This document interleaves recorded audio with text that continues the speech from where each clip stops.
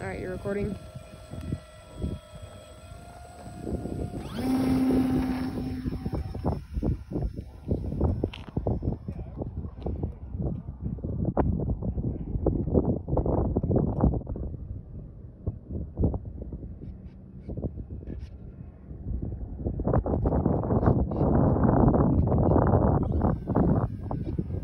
How did it get the touch go?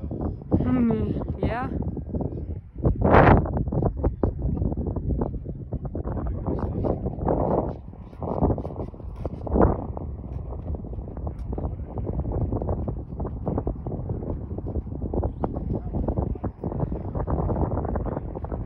Alright.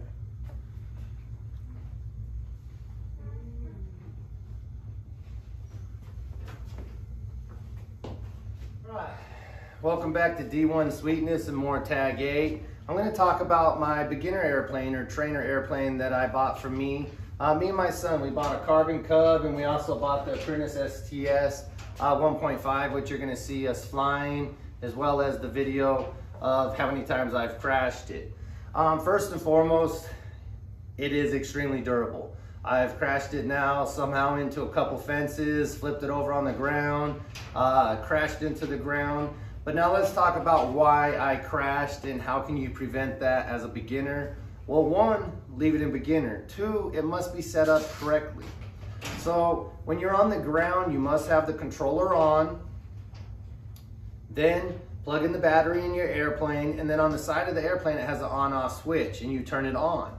It must be on level ground. You must not touch it, you must not hold it, and that's why I wrecked, because I was holding it like this and letting it set its level and gyros. That was totally incorrect, so when I got in the air, I was flying expert, got into a panic mode, hit it into basic. Well, basic uh, mode was set up incorrectly, therefore the airplane nosedived and went right into the ground.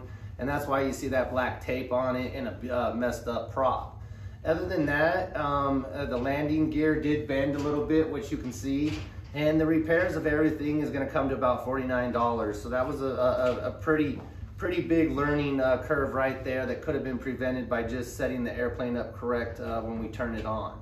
Other than that, I love to fly it.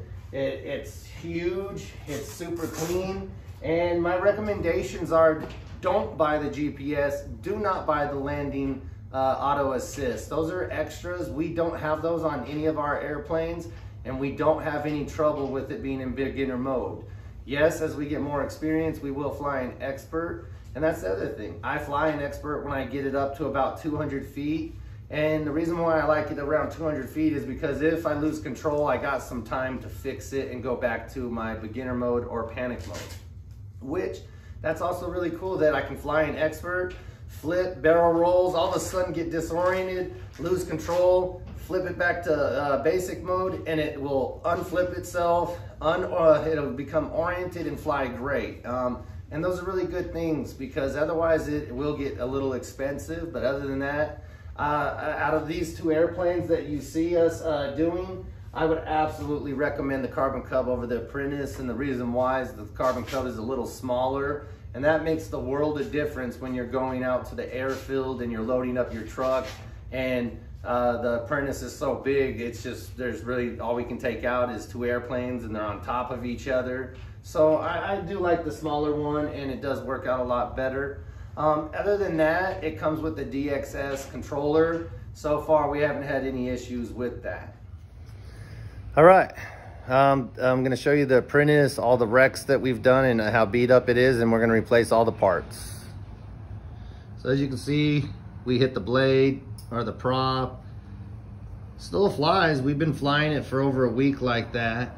And if you can look over here on the wings, the wings are still really good after hitting a fence, but you can see a little bit of damage and a little bit over here from hitting a fence. And let's look at the other wing.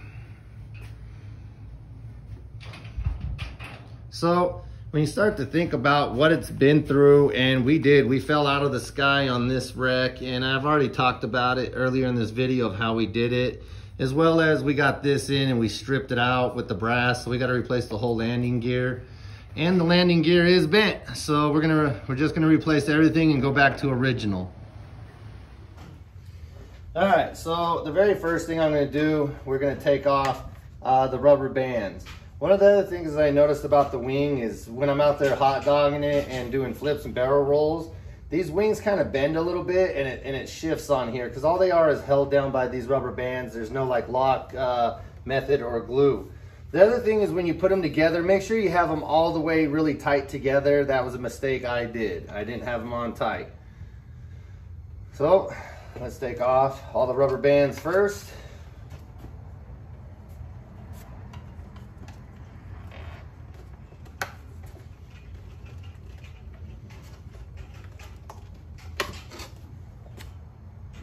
Okay, keep holding the airplane. Yeah. All right, so now when you take the airplane off, you're gonna see it's hooked up to the ailerons, and those are labeled. Don't take the labels off so that you don't have to guess and play, um, and you just always hook them up uh, correctly. So let's disconnect the wing altogether, and then we'll put this in a very safe place so no one walks on it. And let's get this right here. There you go, son. All right, let me put this in a safe place.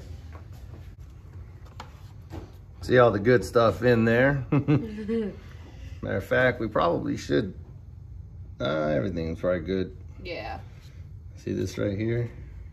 hmm A. Oh, that's where the binding cord goes. Hmm. Who knew?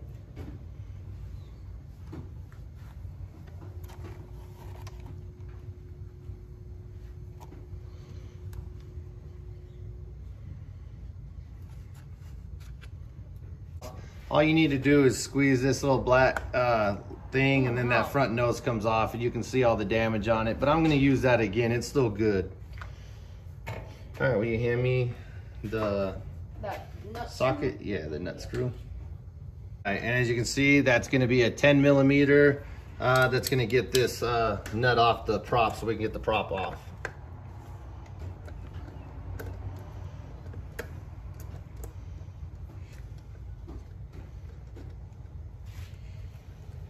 So you're gonna have a nut and you're gonna have a washer that go on. Don't lose those, put them to the side. And then that's the, the, the cap that we were grabbing. And then this just comes right off. And you can see there's no, there's no cracks, nothing like that. It's actually still good and operational, but uh, I got brand new ones that I bought for spares, so we're gonna put on a new one when we go back on, but I'm still gonna keep this one because it's good in a pinch if I had to. So go ahead, set that to the side. Yep. Front nose piece is held on by three tiny little screws. And hand the screws to me once they're out. Careful, careful. All right.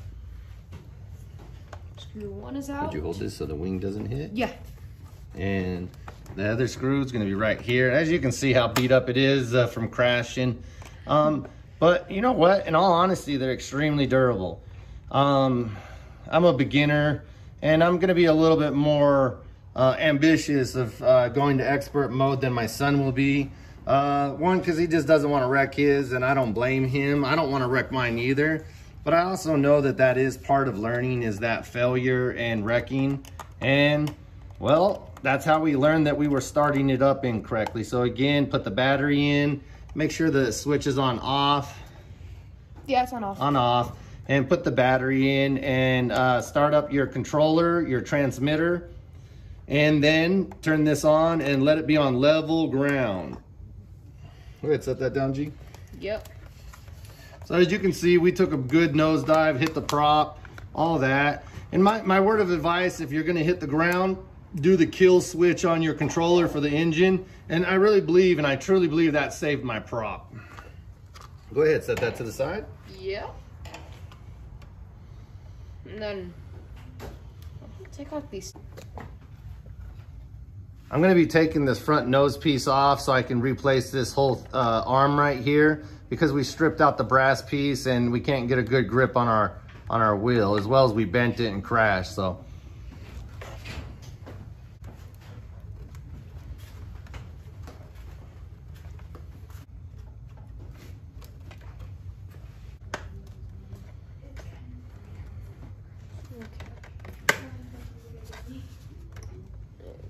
Going willingly.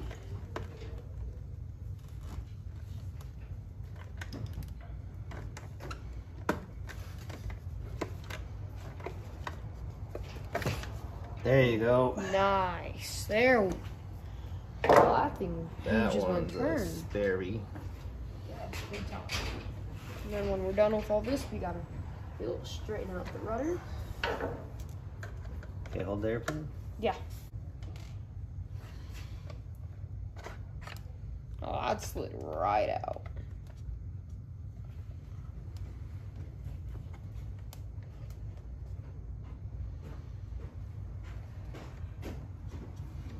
All right, so on that landing gear, a little brass thing in there. When we tightened that, we over tightened it and we stripped it out. So we basically kind of rigged it so we could still stay flying until the shipment came in, being uh, all the delays that were happening with the mill. And as you can see from E-flite, all the new landing gear. So we're just gonna put it back on.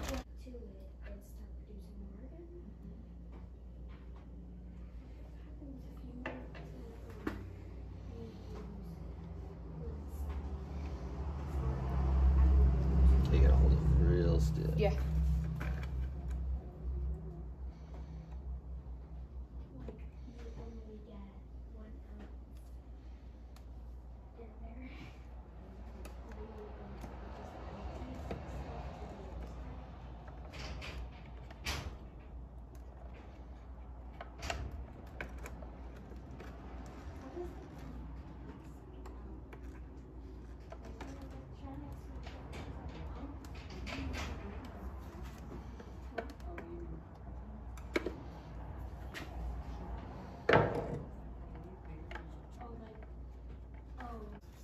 All right, now one of the big things I had right here is there's a flat spot right there, but I filed it a little bit more to make sure it was super, super, super flat so that when we get the screw in there, it'll sit nice and tight. Okay, I'm gonna give you some leverage. Okay, there you go, let go. Let go. Oh wow, with those two gears in the back with that one in the front, it makes it look like it's just sitting.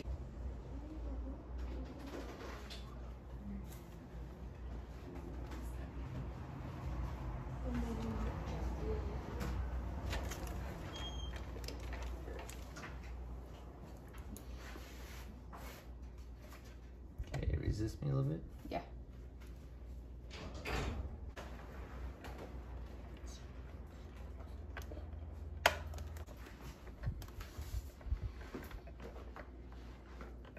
Positioned, maybe you can see.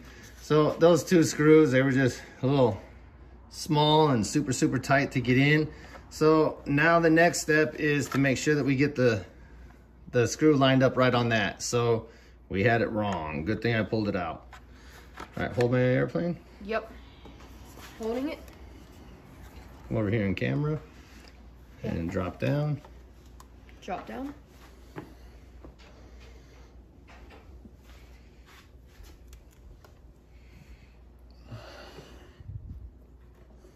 Yeah, Dad, don't forget we gotta I think we gotta straighten out a little bit. Not worry about that right now. Okay. Just making sure you know. Mm, Later.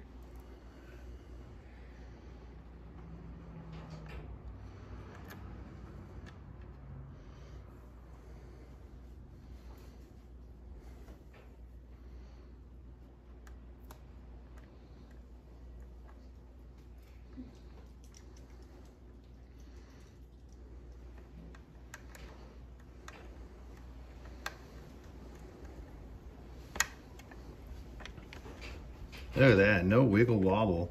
Just a yeah, that's actually good. Okay, there we go. All right, we got Perfecto. the Go ahead, and set it down. Installed. Down. Okay. So as you can see, we wrecked it and it bent this uh, pretty good, as well as even when it's on the ground. And I and I did that really tight, so it's just a little too loose.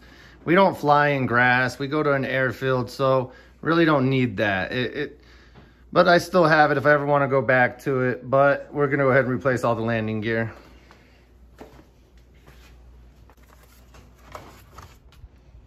Okay.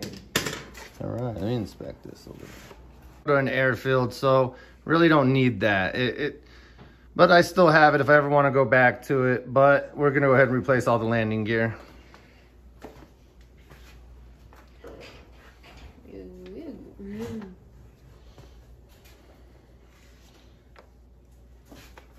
I'll hold it. Hold it. Yeah. Just wiggle warm it out.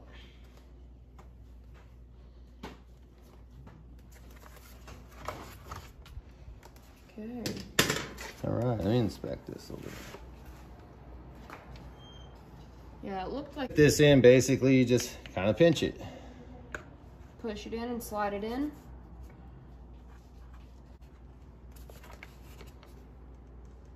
There, There you go. go.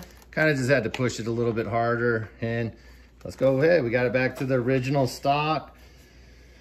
And when I want to switch back out to these, I will. But I even bent this when I when I landed and I had to take a pair of pliers to, to bend it back into place. So that's why we're going to go with new. But when I do put these back on the other one, I'll take this and put it on the inside so it prevents that wheel from sliding around a little bit.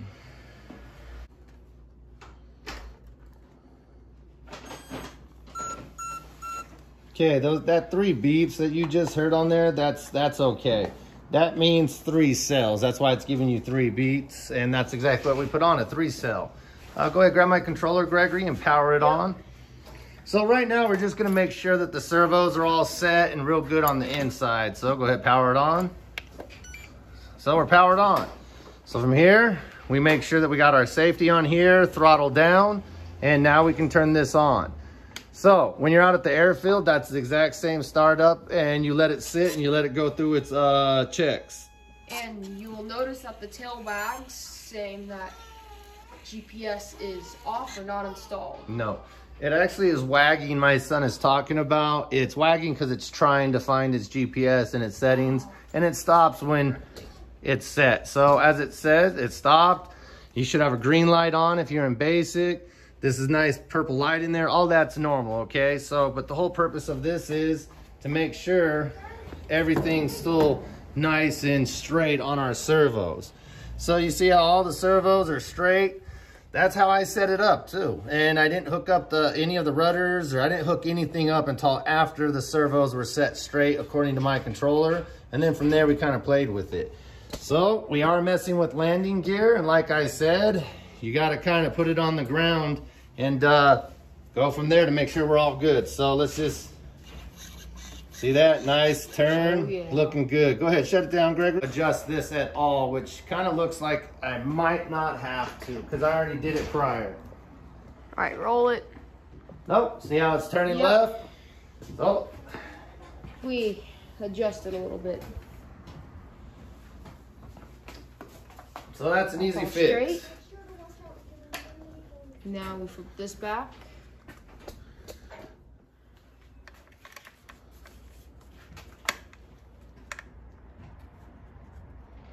There you go. So now I straighten this up, And then tighten it. tighten it back down. Not too tight. We made that mistake once. All right, now let's see. Now let's set this and Much better, okay? um the red one. Mhm. It was under the plane. All right, I'm just tightening down the wheels, making sure they're all snug.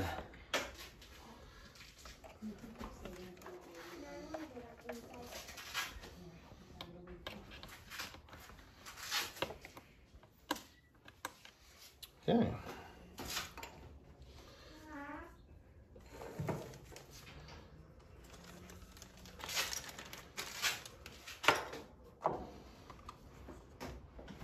New nose piece. Mm, yep.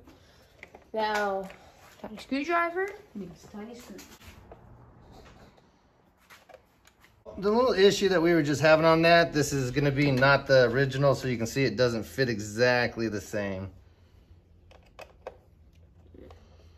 Okay, so your prop, that side goes towards you, that side goes towards the airplane. It's also really shiny black versus kind of matte.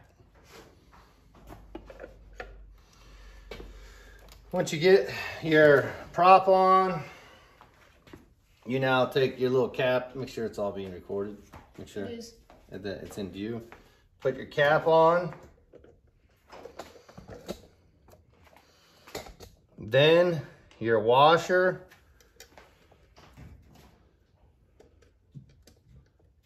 And then your nut.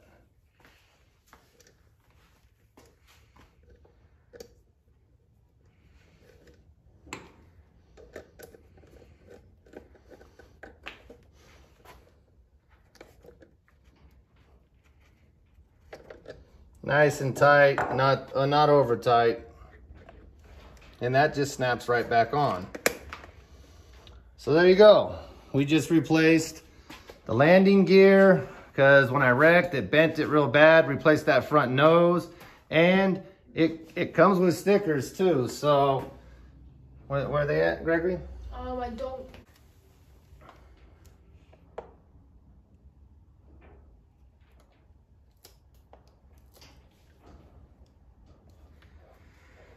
Oh wow.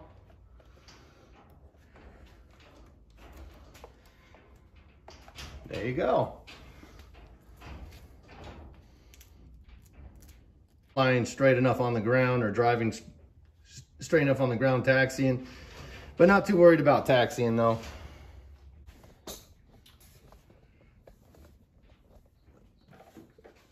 So right aileron goes to the right aileron. That's why you don't want to take those stickers off. You going to hold this so it stays on mm-hmm. the plane. Come down. Nothing holds that on other than the rubber bands.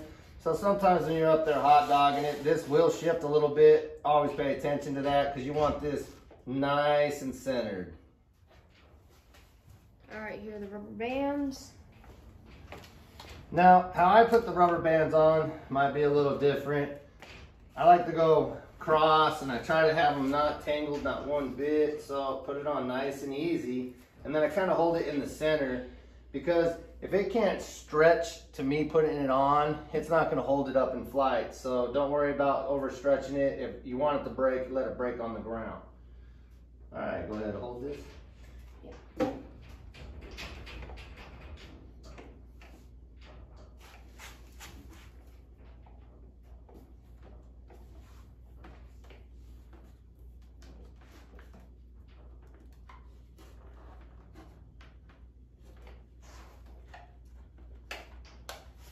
On so it's nice and flush and it's not like twisted and folded. Trying to keep it as aerodynamic as possible and just uh, so it has this as smooth as flight as possible.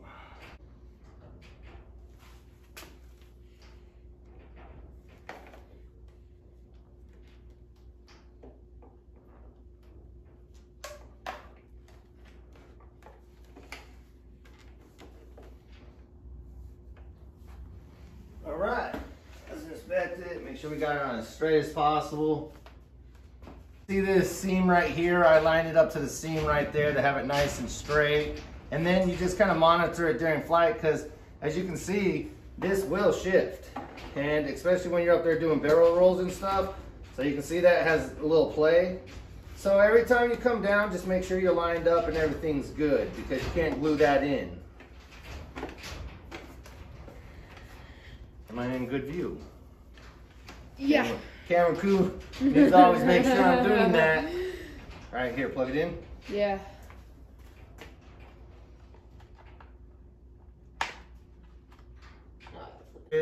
And before you flip that on, let me turn on the remote. Okay, so now the remote needs to be turned on. And then, All right, so then you turn on the airplane and you let it just go through uh, whatever it's got to go through. It's going to start wagging its tail, all that fun stuff. That could take up to 30 seconds.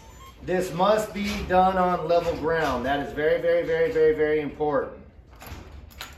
Okay, so now that we got that, being that we were just messing with everything, I kind of just inspect uh, all my uh, ailerons, my rudder, just to make sure we're completely flush.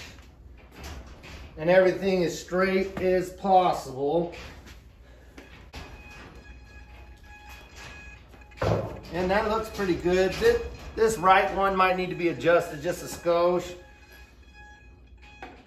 All right, let me see the controller, Gregory. Here you go. Go ahead, hold the back, Alright, couldn't find mine. hold the back. I'm holding it.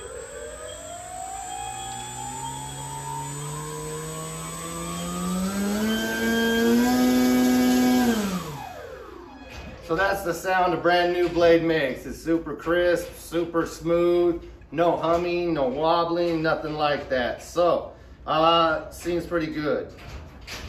Let's look at-. Look at the ailerons.